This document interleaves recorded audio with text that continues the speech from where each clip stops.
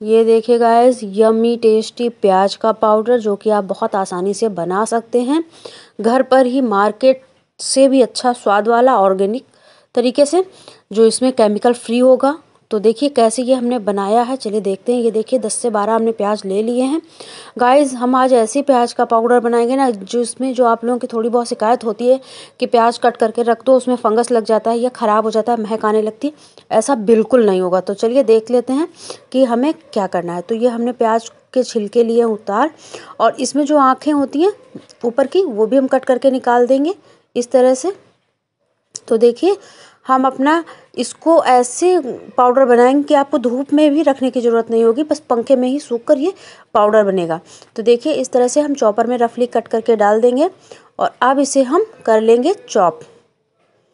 तो ये देख सकते हैं गाइस इसे हम चॉप करेंगे। जैसे हमने लहसुन को मिक्सी में दरदरा ग्राइंड किया था, बस वही प्रोसेस करना है कि हम प्याज को थोड़ा सा बारीक चॉप करेंगे जिसकी वजह से ये फ़ैन में ही सूख जाएगा। ये देख सकते हैं इस तरह से हम इसको कर लिया है चॉप इतने बारी, बारीक बारीक।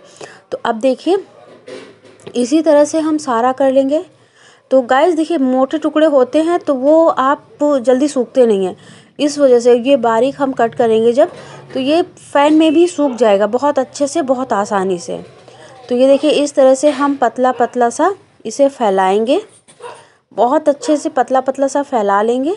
देखिए, ये वीडियो हम नाइट में शूट कर रहे हैं तो हम इसे फ़ैन में ही रखेंगे। अगर आप डे में बनाते हैं, ठीक है अगर डे में आप ये पाउडर बनाते हैं तो आप धूप में भी रख सकते हैं। अगर जिसके यहाँ धूप नहीं होती है तो ज़रूर ये करे काम कि फ़ैन में रख कर ही ये पाउडर बन सकता है। तो ये देख सकते हैं गाइस हम इसी तरह से पतला पतला अपना फ़ैन में बना करके रख देंगे, क्योंकि हम नाइट में वीडियो बना रहे हैं, इस वजह से।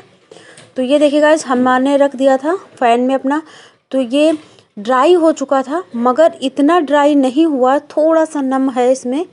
ठीक है, दूसरे दिन मैंने सुबह देखा तो ये ड्राई हो चुका था, मगर इतना नम है कि इसमें अगर हम इसे ग्राइंड करते हैं तो ये पाउडर नहीं बनेगा। तो क्या करना है, हमें इस तरह की हैवी बॉटम की ले लेंगे कढ़ाई। फ्लेम ऑन करेंगे, बिल्कुल धीमा लो फ्लेम और उस पर थोड़ा सा हम इसे भून देंगे।